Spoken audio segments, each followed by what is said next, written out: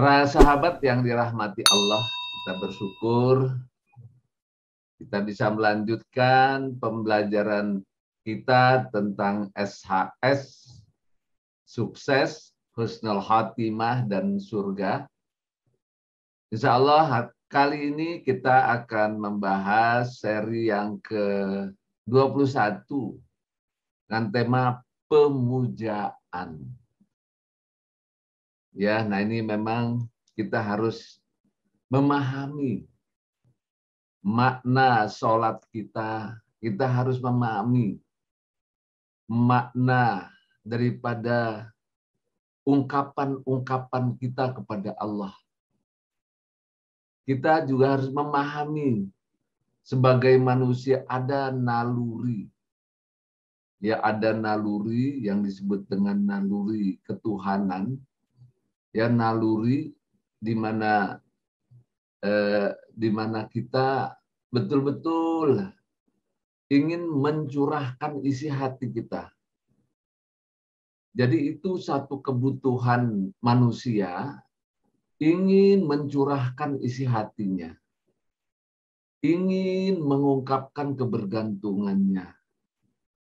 Ada pengakuan di dalam diri kita bahwa kita ini tidak bisa menghadapi kehidupan itu keseluruhan.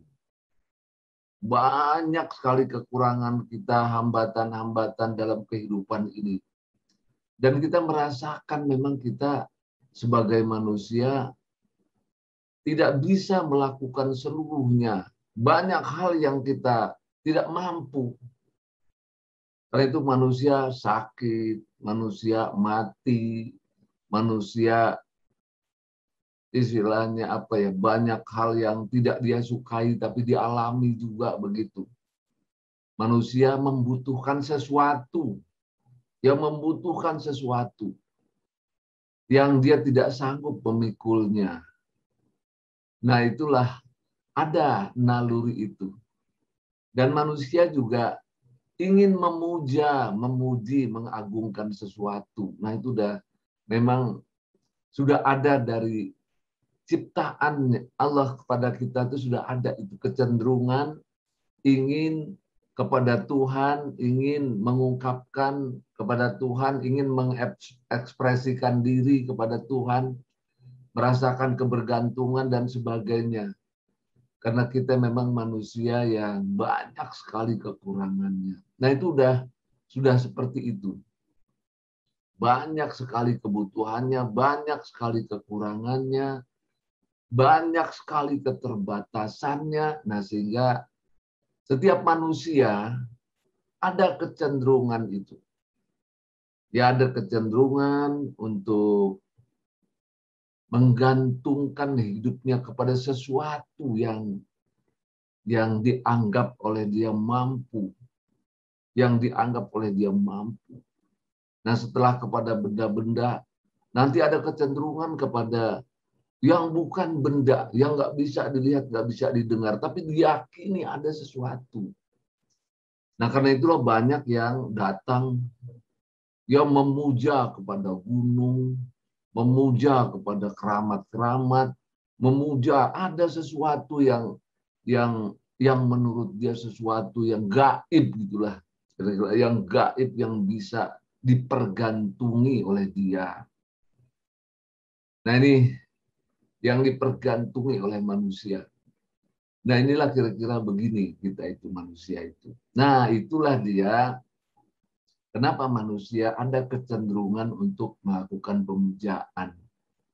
Nah, dari zaman dulu itu ada terus. Nah ingin mengungkapkan kebergantungannya, ingin mengungkapkan puja dan pujinya, dan dia mengetahui ada sesuatu yang maha besar.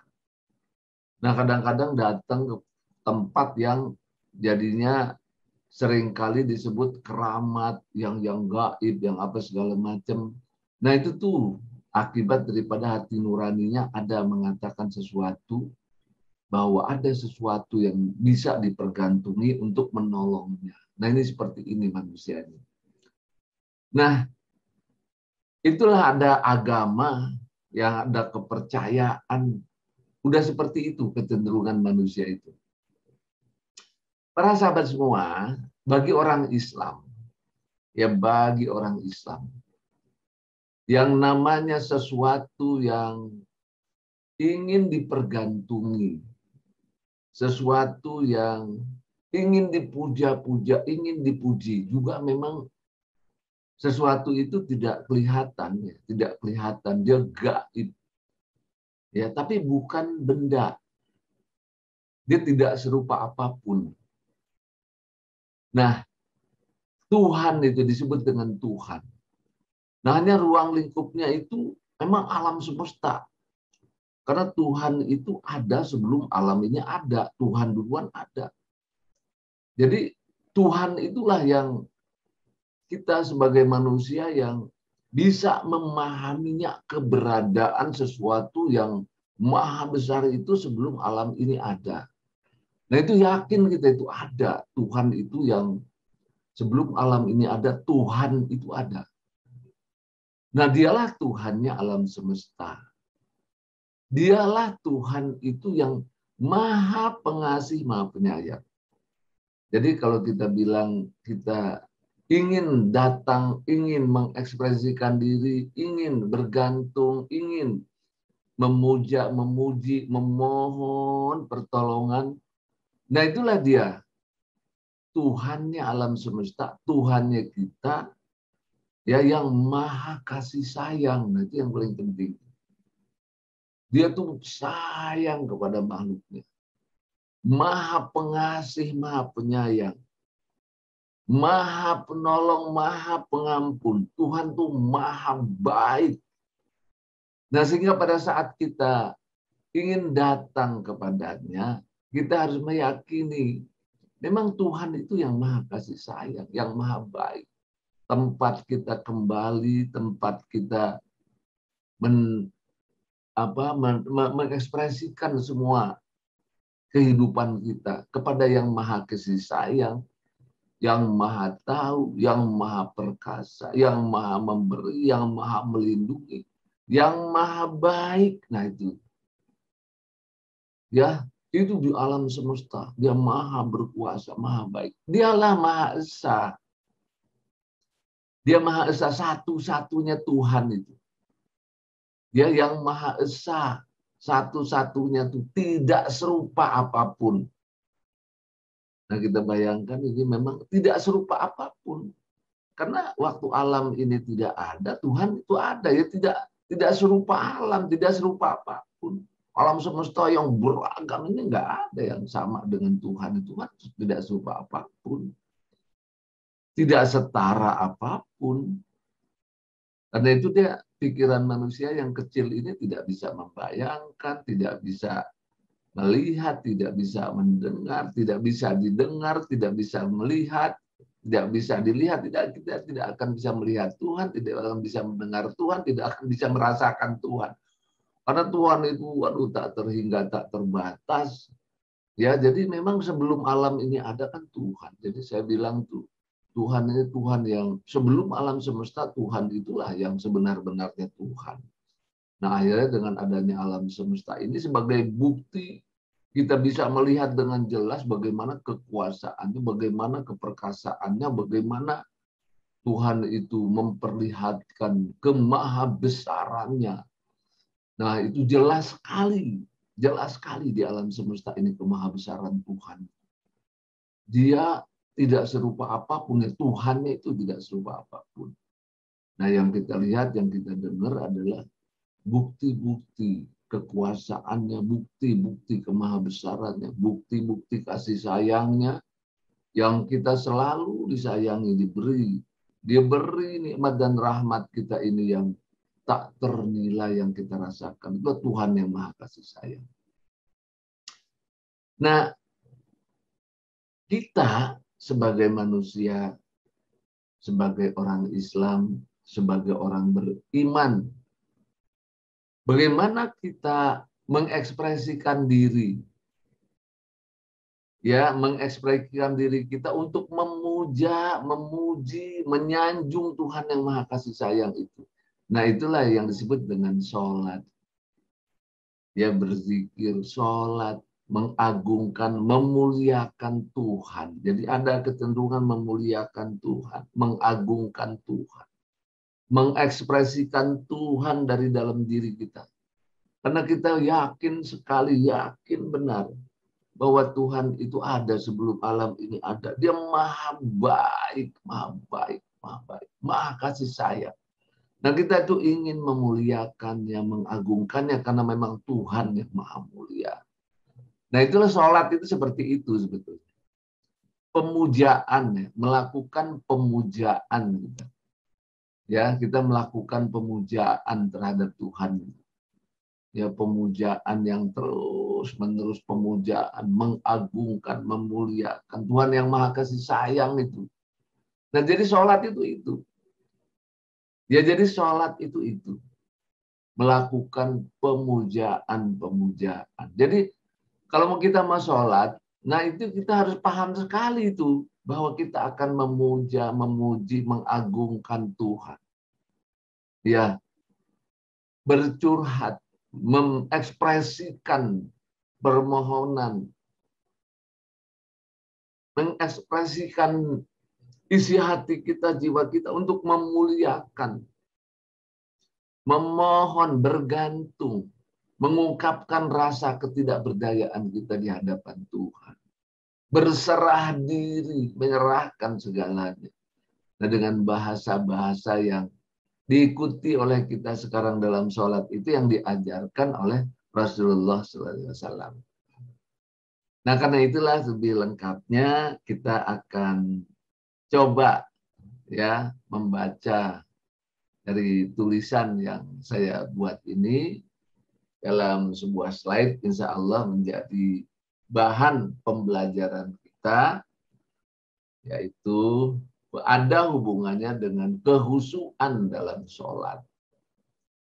Nah ini kita lihat, kita share.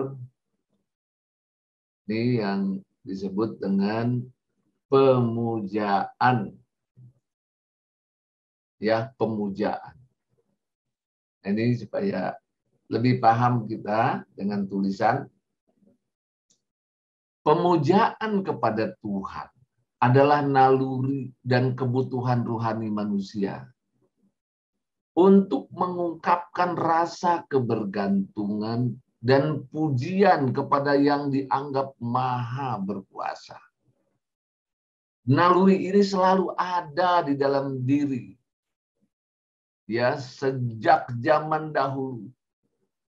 Ya, sejak zaman dahulu sudah ada. Sebagian manusia mendatangi tempat-tempat tempat-tempat sakral. Misalnya di gunung, di hutan, atau di tempat yang dianggap keramat memuja sesuatu yang dianggap memiliki kekuatan yang luar biasa, yang mampu menolong kehidupannya. Ada juga yang mengikuti bimbingan para nabi dan rasul sebagai agama yang dianutnya. Sampai sekarang masih ada.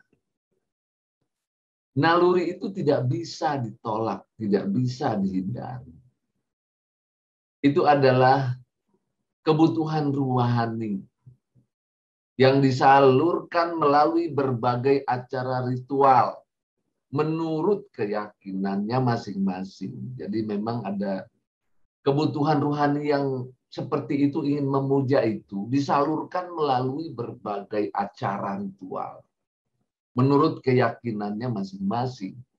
Salah satunya melalui kepercayaan agama. Nah ini para sahabat, seperti itu memang kita manusia.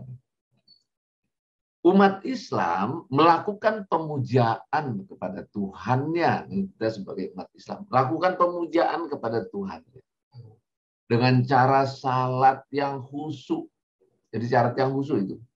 Jadi syarat yang khusyuk itu yaitu pemujaan. Ya, kita melakukan pemujaan kepada Tuhan dengan cara meniru salat yang dianjurkan, yang diajarkan, salat yang diajarkan oleh Muhammad Rasulullah. Jadi kita nih umat Islam ya melakukan pemujaan dengan sholat yang khusyuk tuh. Sholat yang khusyuk yang diajarkan oleh Rasulullah Sallallahu Alaihi Wasallam. Karena itu dia kita menyebutnya ya kita menyebutnya salat khusyuk ya dia menyebutnya salat yang khusyuk atau salat khusyuk menjadi ibadah ritual. Jadi ibadah ritualnya untuk apa? Untuk melakukan pemujaan kepada Tuhan dengan cara berendah diri, penuh ketundukan sebagai makhluk yang mengakui ketidakberdayaannya di hadapan Tuhannya. Nah inilah kira-kira namanya khusyuk itu. Jadi khusyuk itu begitu. Jadi dalam definisi khusyuk itu berendah diri, tunduk, jadi kalau kita sekaligus membacanya, salat khusyuk itu menjadi ibadah ritual untuk melakukan pemujaan. Nah, pemujaan. Jadi kalau kita sholat itu ada pemujaannya. Pemujaan kepada Tuhan dengan berendah diri. Kita berendah diri. Penuh ketundukan.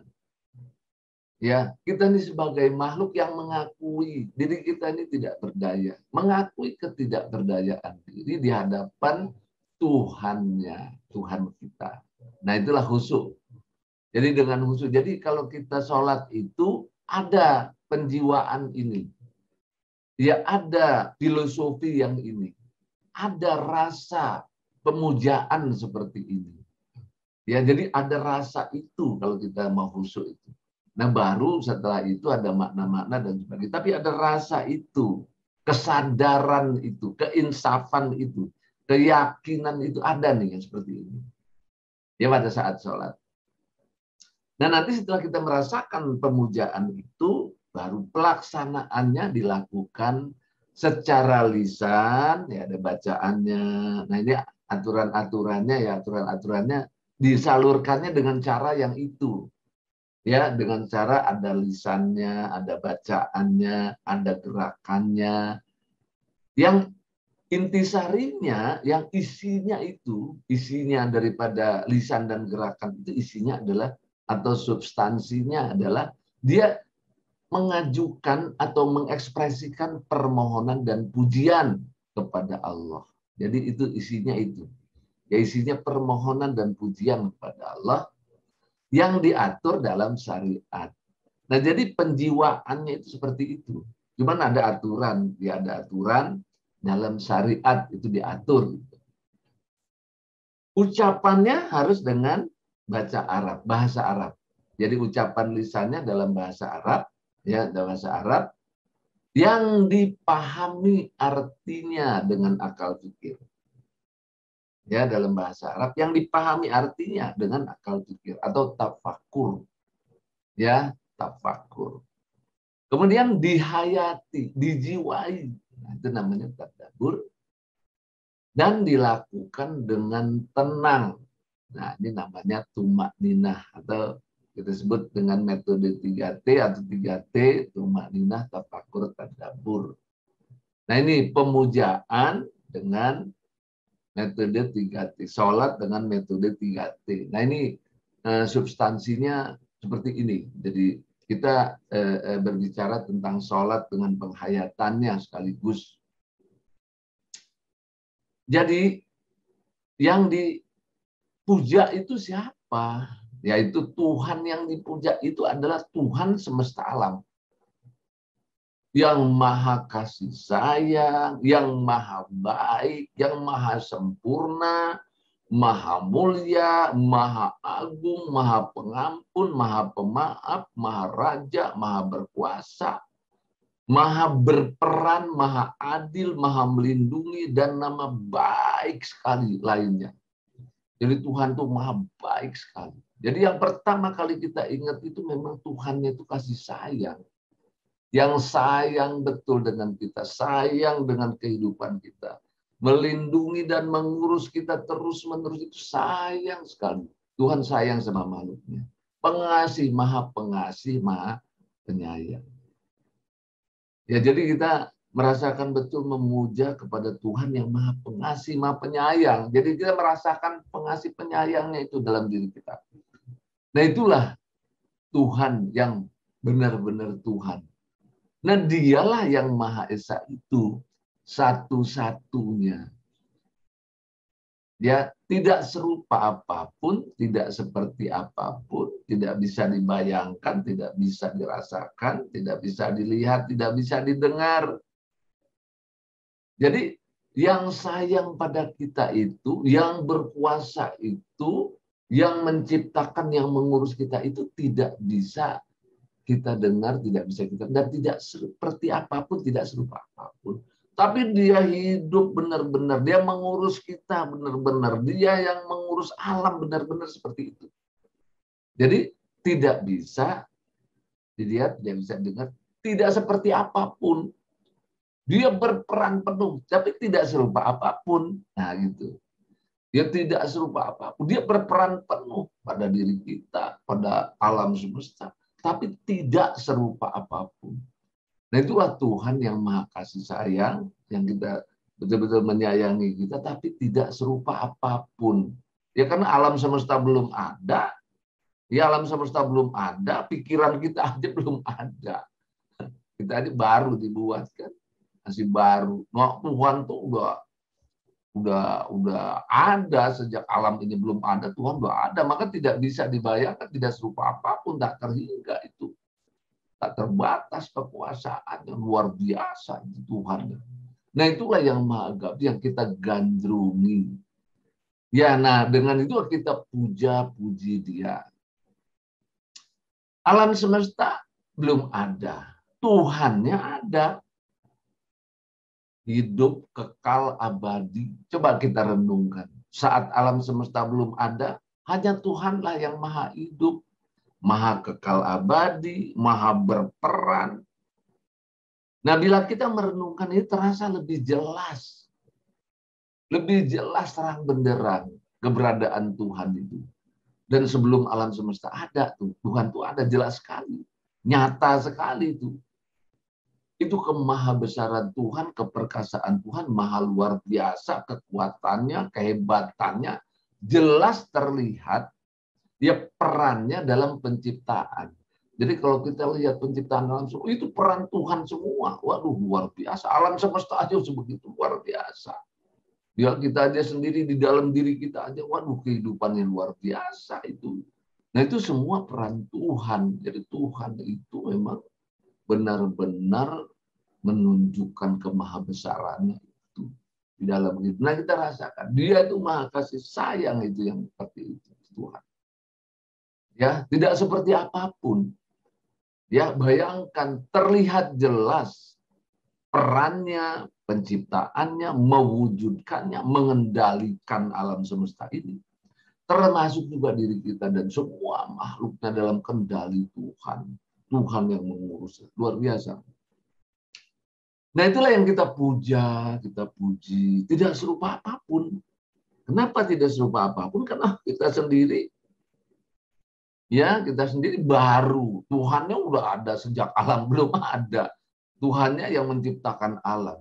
Alam belum ada, Tuhan maha hidup, maha kekal. Jadi nggak sampai pikiran kita. Terlalu kecil. Maka tidak serupa apa pun. Dia mau dibayangin yang seperti itu hebatnya. Alam semesta ini terbayang cuma kecil-kecil, sedangkan itu semua peran Tuhan waktu alam semesta belum ada. Ya, dia tidak serupa apa pun, tidak seperti apa pun, tak terbatas, tak terhingga kekuasaannya. Nah inilah para sahabat semua yang dirahmati Allah. Penjelasan tentang pemujaan. Ya, kita memuja Tuhan, memuji Tuhan. Memohon bergantung kepada Tuhan. Yang maha kasih sayang, yang menyayangi kita mengani makhluknya, maha pengampun, maha baik. Dia berperan penuh dalam kehidupan ini mengurus kita, mengurus alam terus menerus sampai ke dalam hati kita dia sayang sekali pada kita. Cuman dia tidak serupa apa pun. Ya tidak seperti apa pun. Nah itulah Tuhan kita. satu-satunya Tuhan yang Maha Esa. Yang kita ekspresikan jiwa kita kepadanya. Dia maha mendengar, dia maha melihat, dia maha tahu isi hati kita, apa yang ada dalam diri. Dia maha tahu. Dan kita ini dialah yang mengurus ya kehidupan kita sehari-hari. Bahkan kita sedang tidur pun Allah tetap mengurus kita. Jantung kita tetap berdetak yang mengurus tuh Allah. Sayangnya Allah pada kita. Karena itu kita hendak memuji, memuji, datang kepadanya. Datang kepadanya itu maksudnya betul-betul Tuhan itu sudah sudah di sini, sudah sudah berperan begini gitu. Nah kitanya yang yang menyerahkan diri, menyerahkan diri pada Tuhan. Karena kita tahu Tuhan yang sayang kita. Ya inilah tentang pemujaan. Ya mudah-mudahan bermanfaat. Assalamualaikum warahmatullahi wabarakatuh.